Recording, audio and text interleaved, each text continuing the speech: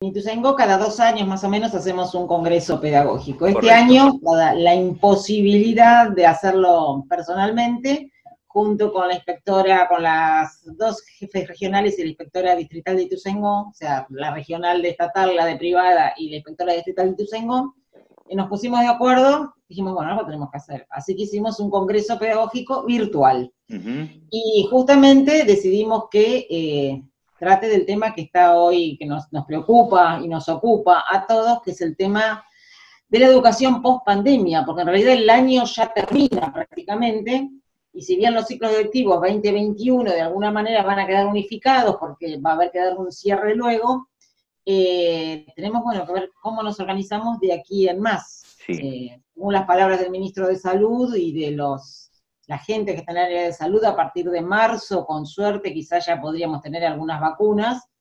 Entonces, este, bueno, ya después empezaríamos a medida que la gente se vacune a hablar de pospandemia, pero de todos modos eh, tenemos que ir previendo, porque no es menor, eh, qué cambios vamos a hacer porque el sistema educativo no puede quedar igual. En realidad hay que trabajar en la educación post pandemia no solo para fortalecer los aprendizajes, sino porque la escuela, a ver, también descubrimos las virtudes que puede tener la virtualidad. Entonces creo que de aquí en más vamos a tener que hacer un mix de ambas cosas para poder aprovechar mejor todos los recursos que tenemos.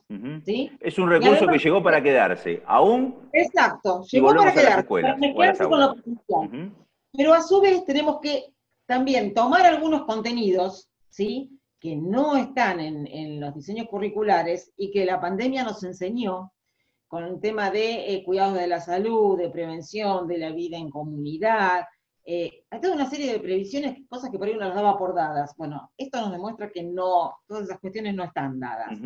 Y que probablemente, como dice la gente de la Organización Mundial de la Salud, en algún momento, o sea, venimos de pandemia en pandemia, esta fue la más grave, Tuvimos el SARS, el MERS, bueno, va a haber alguna otra, seguramente. Bueno, entonces tenemos que estar preparados y también trabajar con todo lo que sea cuidado de la salud, la vida en la comunidad, la previsión, o sea, hay toda una serie de temáticas y de temas que son transversales a la escuela que tenemos que empezar a trabajar.